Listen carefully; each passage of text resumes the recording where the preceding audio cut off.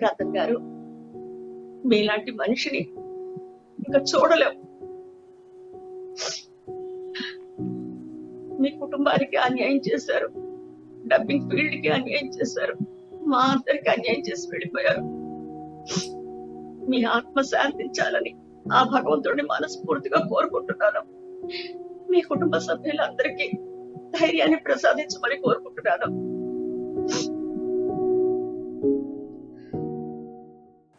నమస్తే. Welcome to Suman TV.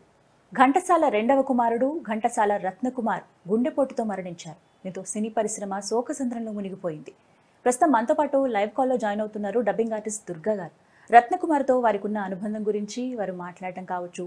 అలాగే తనతో పాటు ఆమె కూడా డబ్బింగ్ చెప్పారు చాలా సినిమాలకి. ముఖ్యంగా ట్రాన్స్లేట్ అయిన అంటే తమిళ్ నుంచి తెలుగుకి అలాగే హిందీ నుంచి తెలుగుకి డబ్బింగ్ చెప్పినటువంటి సినిమాల్లో వీరిద్దరూ చాలా సినిమాలకు కలిసి పనిచేశారు. వారి అనుబంధం ఏ విధంగా ఉంది? వారి మాటల్లోనే విని తెలుసుకుందాం. దుర్గా గారు నమస్కారం అండి. నమస్కారం. ఘంటసాల గారి రెండవ కుమారుడు రత్నకుమార్ గారు. ఆ, డబ్బింగ్లో ప్రధానంగా ఆయన ఎంత సుప్రసిద్ధిలో తెలుసు. అందరికీ బాగా సుపరిచితులు. ఆయన వాయిస్ కానీ మరి ముఖ్యంగా అందరూ ఆయనకి అభిమానులే. అంటే ఈ రకంగా చాలా బాధాకరం ఇలాంటి సిచ్యువేషన్లో ఆయన గుండెపోటుతో మరణించడం అనేది. సో ఆయనతో మీకున్న అనుబంధం ఎలాంటిది? ఎప్పుడైనా కలిశారా? అంటే డబ్బింగ్ చెప్పేటప్పుడు కావచ్చు. ఎప్పుడు కలిశారు? ఆ వివరాలు చెప్పండి అమ్మా మాది దాదాపు నలభై ఏళ్ళ అనుబంధం అమ్మ.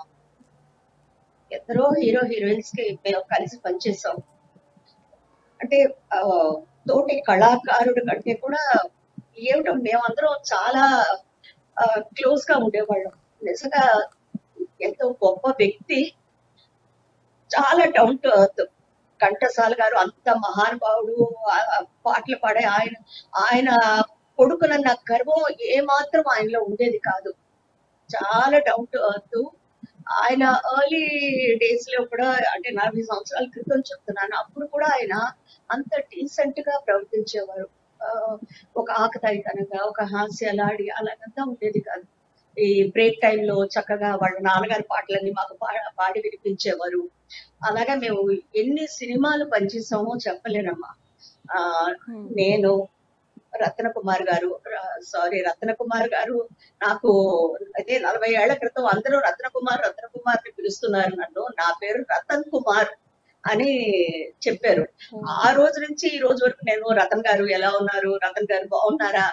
అలాగే పిలిచేదాన్ని. మీరు ఒక్కరే అంటున్నారండి. అందరూ రతన్ కుమారే అని అనేవారు ఆయన. అలాగా చాలా క్లోజ్ అమ్మా. అంటే టెన్ డేస్కి ఒకసారి మాట్లాడుకునేవాళ్ళం. ఆయనన్నా ఫోన్ చేసేవారు ఎలా ఉన్నారు? ఏంటి? అని. అంటే నేనన్నా ఫోన్ చేసేదాన్ని. వాళ్ళ కుటుంబాలతో మాకు అంత అనుబంధం ఆ సాయి కుమార్ గారు ఉన్నారు కదా. సాయి కుమార్. గారు రతన్ గారు నేను లక్ష్మి గారు గౌరవప్రి గారు మేమందరం కలిసి వర్క్ చేసేవాళ్ళం.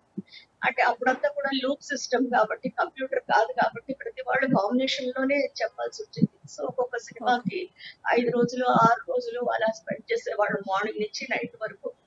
అంటే రతన్ గారి గురించి చెప్పాలంటే ఆయన ఒక మంచి మిత్రుడమ్మా. చాలా మంచి మీరు. మొదట అంటే ఫస్ట్ ఎప్పుడు ఆయన కాంబినేషన్లో డబ్బింగ్ చెప్పింది గుర్తుందా? ఆయన కాంబినేషన్లో నేను ఫస్ట్ ఫస్ట్ చెప్పింది ఒక డబ్బింగ్ మూవీయే ఆయన కార్తిక్ అని తమిళ ఆర్టిస్ట్ ఉన్నారమ్మా. అవును. అంటే ఇప్పుడు సూర్య తమ్ముడు కాదు ఆయన మాట్లాడినంత స్పీడ్గా ఎవరు మాట్లాడలేరు. ఆయనకి రతన్ గారు మాత్రమే మాట్లాడగలరు. అంత బాగా మ్యాచ్ చేసి కార్తీక్ మాట్లాడేవారు.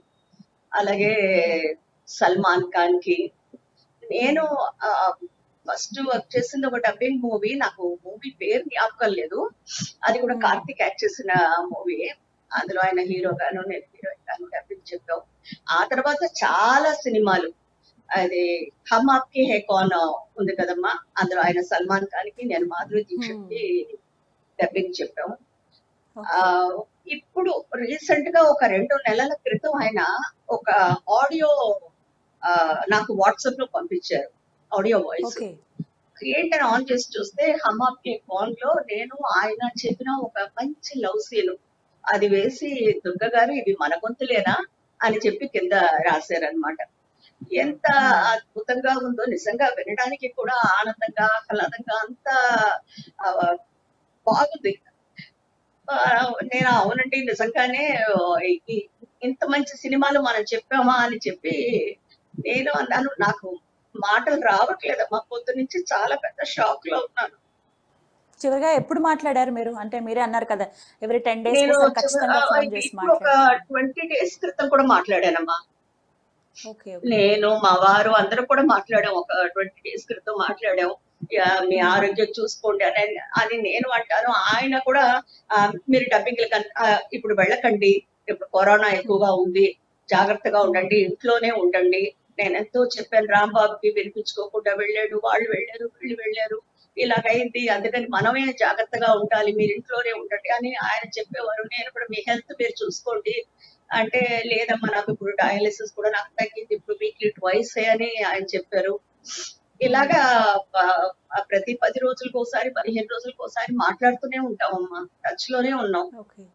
ఆయన ఈ మధ్య యూనియన్ ఎలక్షన్స్లో కూడా ప్రెసిడెంట్గా ఆ నించున్నారు ఆయన. అప్పుడు నేను ఆ ఇందులో ఉన్నాను. సో రోజు వాళ్ళ ఇంటికి వెళ్ళే అవకాశం ఆ ఉండేది. అప్పుడు రోజు ఆయనతో మాట్లాడటం రోజు ఆయన ఆయన్ని కలవడం. మంచి మిత్రుడిని కోల్పోయాం నిజంగా చాలా బాధాకరం. మీరు అన్నారు ఇందాక చాలా డౌన్ టు ఎర్త్ పర్సన్ తను ఎంత లెజెండరీ పర్సన్కి అబ్బాయి అయినా కూడా తను మీతో అంత బాగా కలిసిపోవటం మీతో. కలిసి అలా ప్రతి చోట ఉండడం మాట్లాడటం కావచ్చు. ఆయనతో ఉన్నప్పుడు మీకు బాగా ఇప్పటికీ గుర్తుండిపోయేది ఎప్పటికీ కూడా అలాంటి సంఘటన ఏదన్నా ఉందా ప్రత్యేకించి? సంఘటన అంటే ప్రత్యేకంగా సంఘటన అంటూ ఏం లేదమ్మా. మేము మాట్లాడిన సినిమాలే మేము చెప్పిన సీన్స్ అలాంటివి కానీ ఏంటంటే ఇప్పుడు సాయి కుమార్ గారు రతన్ గారు ఉండేవారు. సాయి కుమార్ గారు చలాకీగా అలా ఉండేవారు. ఈయనేమో డిగ్నిఫైడ్గా ఇలా ఈయన ఉండేవారు. ఇద్దరు వేరే వేరే విధంగా ఉండేవారు. కానీ అందరం ఏంటంటే రోజు కలుసుకోవడం ఒక స్నేహితుల్లాగా ఉండడం. బట్ కల్లా కప్పడం లేని ఫ్రెండ్షిప్ మాది. కల్మషం లేని ఫ్రెండ్షిప్ మాది. ఆయన గురించి చెప్పాలంటే ఎంతో చెప్పొచ్చమ్మా నిజంగా. ఆయనకు సాటి ఆయనే. నిజంగా ఇంత త్వరగా ఇలాగా వెళ్ళిపోతారని కల్లో కూడా ఊహించలేదు. అందరికీ జాగ్రత్తలు చెప్పి ఆయన వెళ్ళిపోయారు చాలా బాధ అనిపిస్తుంది. మీరు చెప్తుంటే నిజంగా అంత చక్కటి వ్యక్తి అంత గొప్ప వ్యక్తి. అమ్మ చాలా మందికి డబ్బింగ్లో మెళకువలు నేర్పించారని విన్నాము. ఇది నిజమేనా? అవునమ్మా. ఆయన ఆయన చాలా మందికి గురువే. చాలా మందికి గురువు ఆయన ఫాలో అయిన వాళ్ళు చాలా మంది ఉన్నారు. ఆ ఈ రోజుకి అందరూ చాలా ఆప్యాయంగా అన్నయ్య అనే పిలుస్తారు ఆయన్ని. ఈ వెంకటేష్ గారు ఏంటి వెంకట్ ఏంటి నారాయణ బాబు గారు అందరూ కూడా ఆయన్ని అన్నయ్య అన్నయ్య అని పిలిచి అంత ఆప్యాయతంగా ఒక అన్నలాగే ఉన్నాడమ్మా ఆయన డబ్బింగ్ ఫీల్డ్కి సడన్గా ఇలా జరుగుతుందని కళ్ళ కూడా లేదు పొద్దున్న లేవగానే పెద్ద షాక్ ఇది. అసలు అసలు ఊహించలేని విషయం ఇది. జీర్ణించుకోలేకపోతున్నాం. ఎప్పుడైనా మీ దృష్టికి తెచ్చారన్నమాట తనకి హెల్త్ బాగాలేదని గాని ఈ మధ్య కాలంలో కొంచెం ఇబ్బంది ఆయన హెల్త్ గురించి. అస్సలు. చాలా హ్యాపీ అయిన మనిషి అయినా ఆయన బాధ పడేవారే కాదు. ఆ డయాలసిస్కి వెళ్తున్నాను ఐఎమ్ ఓకే నేను బాగానే ఉన్నాను. అలాగే చెప్పేవారు కానీ ఆయన హెల్త్ గురించి ఎప్పుడు బాధపడలేదు. దాని గురించి వరియే కాలేదు ఆయన. ఆ పెళ్ళి చేస్తేనే అయిపోయింది రెండో అమ్మాయి కూడా పెళ్ళి చేస్తే మా బాధ్యత తీరిపోతుంది అనేవారు. చక్కగా సరదాగా నాకు చెప్పేవారు. ఇప్పుడేమో ఈ కరోనా స్టేజ్లో పని వాళ్ళు ఎవరిని పెట్టుకోవడానికి లేకుండా నేను వంటలు కూడా నేర్చుకున్నానండో. నేను యూట్యూబ్ చూసి కొంచెం కొంచెం వంటలు చేస్తున్నాను. నేను మా ఆవిడ కలిసి అన్ని చేస్తున్నాము. కొత్త కొత్త రెసిపీలన్నీ నేర్చుకున్నాను అనేలాగంతా కూడా సరదాగా మాట్లాడారు. నిజంగా అందరికీ చక్కటి మెమరీ ఉంది ఆయనతో చాలా మందితో మాట్లాడినప్పుడు కూడా చెబుతూ ఉన్నారు ఆయన ఇంత చక్కగా. మాకు డబ్బింగ్ నేర్పించారని మాతో ఎంత అవును. వినయంగా ఉండేవాళ్ళు ఎంత చిన్నవాళ్ళమైనా కూడా మాతో. మర్యాదగా ప్రవర్తించేవారు అని. చాలా మర్యాదస్తులు చాలా వినయంగా ఉంటారు అందరితోనూ ఆప్యాయతగా మాట్లాడతారు చాలా డౌన్ టు అర్త్ అలాంటి మనిషి వాళ్ళ అన్నయ్య పిల్లల్ని వాళ్ళని అందరినీ కూడా ఆయనే చూసుకున్నారు. వాళ్ళ అన్నయ్య గారు పోయాక వాళ్ళ పిల్లల్ని చూసుకోవడం ఏంటి? వాళ్ళకి పెళ్ళిళ్ళు చేయడం అన్ని ఆయన చాలా బాగా చూసుకున్నారు. చాలా మంచి వ్యక్తి మంచి మనిషి. ఆ మనిషిని కోల్పోవడం నిజంగా ఆ, మా డబ్బింగ్ ఫీల్డ్కి ఒక పెద్ద ఇది. ఈ మధ్య డబ్బింగ్ రచయిత వెన్నెలగట్టి గారు పోయారు. ఆయన పోయిన దుఃఖం తీరక ముందే ఈయన పోవడం అంటే ఊహించలేకపోతున్నారు ఇంకా దెబ్బ మీద దెబ్బ అన్నట్లుగా ఇంకా ఆ గాయం మర్చిపోనే లేదు. మళ్ళీ. అదనంగా ఇంకొక గాయంలా అనిపిస్తాం మా రత్నకుమార్ గారు చెప్పిన చాలా సినిమాలు చెప్పారండి. చక్కటి వాయిస్ దో ఆ బేస్ వాయిస్ కావచ్చు. సో ఆయన చెప్పిన వాటిలో మీకు బాగా ఇష్టమైన డైలాగ్స్ కానీ అంటే కొన్ని సందర్భాలు కానీ సినిమాలు కానీ ఏమైనా ఉన్నాయా? మీకు బాగా నచ్చినవి? ఆయన చెప్పిన దాంట్లోనే నాకు చాలా ఇష్టమైనది హమాకే హే కౌన్. అందులో ఒక్క డైలాగ్ అని కూడా చెప్పలేం. ఆ Hmm. ఫిల్మ్ మొత్తం మీరు చూసారంటే అలాగ ఒక ఒక ఆనందంలోకి వెళ్ళిపో వెళ్ళిపోతాం. ఆ- ఆయన వేసిన ఆడియో కూడా విన్న వాళ్ళకి మనకి విజువలైజేషన్ తెలియదు కదా. అది విన్న వాళ్ళకి ఏదో సినిమాలో డైలాగు ఎవరో ఎవరికో చెప్తున్నారు అన్నట్టుగా ఉండదు. ఏదో ఇద్దరు ప్రేమికులు అంత అందంగా అంత ఇదిగా మాట్లాడుకుంటున్నారు అన్నట్టుగా ఉంటుందన్నమాట. నిజంగా అది విన్నప్పుడు. నాకే అంత అంత బాగా చెప్పామా అంత బాగుండేవా మన వాయిస్లో అని చెప్పి ఆశ్చర్యం కలిగింది. ఆ సినిమా మాత్రం హ్యాట్స్ ఆఫ్. అదేనో ఆయన కార్తిక్కి చెప్పేది ఇంకా ఇది చేయలేం. ఇంకోటి ఆయనదేమో. చాలా ఫ్లెక్సిబుల్ వాయిస్ ఆయన Hmm. వాయిస్ ఎవరికైనా మ్యాచ్ అయిపోతుంది. అంత. ఫ్లెక్సిబుల్ వాయిస్ డబ్బింగ్లో చాలా స్పీడ్ ఒక సంఘటన చెప్పాలంటే ఆయన గురించి ఒక్క డబ్బింగ్లో నేను ఒక పాతిక సంవత్సరాల క్రితం జనవరి ఫస్ట్ నేను ఎవరి దగ్గర ఈ సంవత్సరం డబ్బు తీసుకోలేదండి. మీరు ఇవ్వండి నాకు అని అడిగారు నన్ను. నేను చేతిలో వంద రూపాయలు ఉంటేనో ఏదో ఆయన చేతికి ఇచ్చాను. ఆ సంవత్సరం ఆఖరిలో చెప్పారు ఈ సంవత్సరం నాకు ఎంత బాగుందో తెలుసా అండి? ఎలా ఉందో తెలుసా? నేను ఎలా ఇది ఇదయ్యానో తెలుసా? ఇది ఇది చూడండి అది చూడండి అని చెప్పి ఆయన అంత ఆనందంగా చెప్పి ఆ తర్వాత వరుసగా తేనాపేటలో ఉండేవాళ్ళం. అక్కడికి వరుసగా ఒక పది సంవత్సరాల దాకా జనవరి ఫస్ట్ అయితే ఆయన వచ్చేవారు మా ఇంటికి నా చేతితో. డబ్బులు తీసుకోవడానికి. సెంటిమెంట్గా ఫీల్ అయ్యారు. ఆ సెంటిమెంట్గా feel. మీకు ఎప్పుడైనా సలహాలు ఇవ్వటం కానీ మీరు చెప్పిన వాటిలో. మెచ్చుకోవటం కానీ ఏమైనా చేశారా? ఎప్పుడైనా గుర్తుందా మీకు మీరు చెప్పిన వాటిల్లో బాగా మెచ్చుకోవటం కావచ్చు మీకు ఏమైనా సలహాలు ఇవ్వడం కావచ్చు ఇలాంటివి ఏమైనా చేసేవారా రతన్ కుమార్ గారు ఆయన నాకు సలహాలు ఇచ్చేవారు కాదు కానమ్మా ఆ ఏదైనా ఇంత బాగున్నా కూడా వెంటనే ఫోన్ చేసి ఇది మీరు ఎయిటీ ఫోర్ లోనో ఏదో చెప్పినట్టున్నారండి. ఆ సినిమా నేను చూశాను. అబ్బాబ్బాబ్బా నిజంగా ఏం చెప్పారండి దుర్గ గారు మీరు అది? ఆ ఎంత బాగుందమ్మా ఆ వాయిస్. ఆ క్యారెక్టర్ కే ప్రాణం పోసారు అలాగా ప్రతిదీ ఆయన ఏమన్నా చూస్తే వెంటనే ఫోన్ చేసి అది ఇమ్మీడియట్గా అప్రిషియేట్ చేయాలి. అది ఎప్పుడు చేసేవారు. ఈ రోజు వరకు కూడా. అలాగే చెప్తున్నప్పుడు కూడా మాకు పోటా పోటీయే ఉండేది. ఆయన ఎలా. చెప్తున్నారు మనం ఇంకా ఎలా చెప్పాలి మనం ఆయన అలా చెప్పాలి అని ఇద్ద- ఇద్దరిలోనూ ఒక పోటా పోటీ ఉండేది. చాలా మందికి నేర్పించారు మెలకువలు ఏ విధంగా ఉండాలి. చెప్పాలి అసలు. అది అవును. ఎప్పుడైనా ఆయనతో మాట్లాడేటప్పుడు. ఆయన తర్వాత వచ్చిన వారు చాలా మందికి ఆయన గురువే. చాలా మంది మా. గురువు గారు అంటారు మా అన్నయ్య అంటారు. ఆ, అంటే నేను ఆయన కంటే కొంచెం సీనియర్ అని అనుకుంటాను. నేను సాయి సీనియర్స్ మే అంటే మేము. కొంచెం చిన్నప్పటి. నుంచి డబ్బింగ్లు చెప్పాము. మా తర్వాతే వచ్చారు రతన్ గారు డబ్బింగ్లోకి కానీ వచ్చాక కూడా చాలా అందరూ చాలా ఫ్రెండ్షిప్గా ఉండేవాడు నిజంగా ఆ రోజుల్లో ఉన్న ఆ డబ్బింగ్ గ్రూప్ ఆ డబ్బింగ్ ఇది ఆ అనుబంధం ఆ ప్రేమలు ఇప్పుడు ఈ కాలంలో మనం చూడలేం. ఈ కాలం కాదు. ఏ కాలంలోనూ చూడలేం. అవన్నీ మధుర స్మృతులే. మర్చిపోలేని రోజులు. మళ్ళీ అలాంటి రోజులు రావు. ఆయన కోల్పోవడం చాలా అనుభవాలు. మా డబ్బింగ్ ఫీల్డ్కి లోటు. నాకు. నేను మంచి మిత్రుణ్ణి కోల్పోయాను. వాళ్ళ కుటుంబ సభ్యులకి ఎలా ధైర్యం చెప్పాలో కూడా నాకు తెలియడం లేదు. ఫోన్ చేయడానికి కూడా నాకు. ఇంకెవరైనా ఉన్నారా అమ్మా? అంటే డబ్బింగ్ చెప్తున్నారా? ఈ ఫీల్డ్లో ఉన్నారా ఇంకెవరైనా? ఆయనకి సంబంధించిన వాళ్ళమ్మా? అవునమ్మా. అంటే డబ్బింగ్ అంటూ ఎవరు అంటే డబ్బింగ్ అంటే వీణ చెప్తుందమ్మా. వాళ్ళ అమ్మాయి హీరోయిన్స్కి చెప్తుంది తను హైదరాబాద్లో ఉంది. ఇక్కడ ఉండేటప్పుడు కూడా హీరోయిన్స్కి చెప్పేది. ఇప్పుడు అక్కడ చెప్తుంది అనుకుంటాను. వాళ్ళ అమ్మాయి మాత్రం. ఇంకెవరికి రాదు. మీరు అన్నట్టుగా అందరికి ఫ్లెక్సిబుల్గా ఉంటుంది ఎవరికైనా సూట్ అయ్యేలాగా. అవునమ్మా. అందరికి మ్యాచ్ అయిపోతుంది. వీళ్ళకే వీళ్ళకే అని లేదు.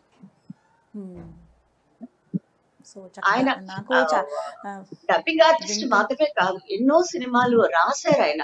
రచయితగా కూడా ఎన్నో సినిమాలు రాశారు. ఆయన రాసిన ప్రతి సినిమాలోనూ నేను పనిచేశాను. ఓకే. నిజంగా టాలెంట్కి పెద్దపీట వేస్తారు అనే తెలుస్తోంది ఆయన చేసిన ప్రతి పని కూడాను. ప్రతి ఒక్కరికి నేర్పించడం కావచ్చు ఎంత చక్కగా డబ్బింగ్ చెప్పారని మీరు మొదటి నుంచి మాట్లాడుతున్నప్పుడు కూడా నాకు బాగానే అనిపిస్తుంది. ఎందుకంటే మీరు చాలా ఫీల్ అవుతున్నారని అర్థమవుతోంది. ఒక మంచి వ్యక్తిని కోల్పోయాము అన్న బాధ అనేది తెలుస్తోంది ప్రతి మాటలో. బట్ అమ్మ చివరిగా ఘంటసాల రతన్ కుమార్ గారు మీరు ఏ విధంగా అయితే పిలుస్తారో ఆయన ఒక్క మాటలో ఆయన గురించి చెప్పాలంటే ఏం చెప్తారు? రతన్ గారు మీలాంటి మనిషిని ఇంకా చూడలేము మీ కుటుంబానికి అన్యాయం చేశారు. డబ్బింగ్ ఫీల్డ్కి అన్యాయం చేశారు. మా అందరికి అన్యాయం చేసి వెళ్ళిపోయారు. మీ ఆత్మ శాంతించాలని ఆ భగవంతుడిని మనస్ఫూర్తిగా కోరుకుంటున్నాను. మీ కుటుంబ సభ్యులందరికీ ధైర్యాన్ని ప్రసాదించమని కోరుకుంటున్నాను.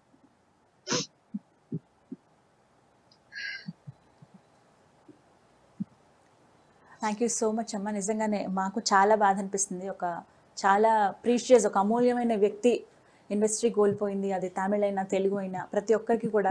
ఆయన చాలా భాషల్లో వెయ్యికి పైగా సినిమాలకు డబ్బింగ్ చెప్పారు. మంచి. పేరు సంపాదించారు. చిన్నప్పటి నుంచి ఆయన ఇంకా సినిమాల్లో పెరిగినట్టే. ఎందుకంటే వారి నాన్నగారు ఎంత గొప్ప సంగీత దర్శకులు అలాగే గాయకులు మనందరికీ తెలుసు. అటువంటి భేషజాలు ఏం ఆయన లేకుండా కూడా అందరికీ చాలా బాగా. పాటలు పాడతారమ్మా. చాలా బాగా పాడతారు. ఆయన సొంతంగా సినిమాలు ప్రొడ్యూస్ చేశారు. ఒక ఫిల్మ్ లోనో రెండు ఫిల్మ్స్ లోనో యాక్ట్ చేశారు. సొంతంగా తెలుగు సినిమా ఒకటి తీశారు. అందులో కూడా నేను డబ్బింగ్ చెప్పాను. ఒక రెండు మూడు సినిమాల్లో యాక్ట్ చేశారు ఆయన. అన్ని- అన్ని రకాలు ఉన్నాయి. అన్ని రకాల టాలెంట్స్ ఉన్నాయి ఆయన దగ్గర. మంచి యాక్టరు మంచి ప్రొడ్యూసరు హిజ్ అ డైరెక్టర్ మంచి రచయిత. బ్యూటిఫుల్ వండర్ఫుల్ డబ్బింగ్ ఆర్టిస్ట్ మంచి మనిషి అన్నిటికీ మించి. నిజమేనమ్మా. అలాంటి. వ్యక్తిని కోల్పోవడం నిజంగా బాధాకరం. నాకు బాగా గుర్తున్నది ఏంటి అంటే విశ్వదర్శనం అని చెప్పి ఒక కార్యక్రమం వచ్చేదమ్మా. ఆదివారం తొమ్మిది గంటల ముప్పై నిమిషాలకు వచ్చేది. నాకు బాగా గుర్తుంది. చిన్నప్పుడు చూసేవాళ్ళం. కంప్లీట్గా అంటే ప్రపంచంలో విశ్వంలో ఎక్కడైతే వింతలు జరిగాయో అవన్నీ ఆయన సండే వచ్చి ఆయనే స్వయంగా యాంకరింగ్ చేసేవాళ్ళు. ఒక టీవీ ఛానల్లో వచ్చేది ఆ ప్రోగ్రామ్ చాలా చక్కగా మేము ఎంతో ఇంట్రెస్టింగ్గా చూసేవాళ్ళం ప్రపంచంలో ఏం జరుగుతుందని. నాకు ఆ విధంగా ఆయన గుర్తున్నారు. నిజంగా చాలా బాధాకరం. ఆయన చూసి చిన్నప్పటి నుంచి చూసాము అలాగే పెరిగాము. బట్ ఈ టైంలో ఇలా ఇంత బాధాకరమైన వార్త వినాల్సి వస్తుందని ఎక్స్పెక్ట్ చేయలేదు. బట్ చాలా చక్కగా చెప్పారు ఆయన గురించి మీరు. మిమ్మల్ని బాధ పెడితే మమ్మల్ని క్షమించండి మరొకసారి చెప్తున్నాము. కానీ చాలా చక్కగా ఆయన గురించి వివరించారమ్మా. థ్యాంక్ యూ సో మచ్ అండి. లైవ్ కాల్లో జాయిన్ అయినందుకు. దుర్గా గారు నమస్కారం అండి. నమస్కారం. నిజంగా సినీ పరిశ్రమ ఒక ఆణిముత్యాన్ని కోల్పోయింది. అది పూర్తిగా సినిమా ప్రపంచానికి సంబంధించి కావచ్చు వారి తండ్రి గారి నుంచి సినిమాల్లోనే ఆయన ఇన్వాల్వ్ అవుతూ వచ్చారు. చాలా సినిమాలకంటే ప్రత్యేకించి వెయ్యికు పైగా సినిమాలకు డబ్బింగ్ చెప్పి ఎంతోమందికి డబ్బింగ్లో మెలకువలు నేర్పిన రతన్ కుమార్ గారు లేరు అనడం చాలా బాధాకరమే వారి ఆత్మకి శాంతి కలగాలని మనస్ఫూర్తిగా కోరుకుంటున్నాను. నమస్తే.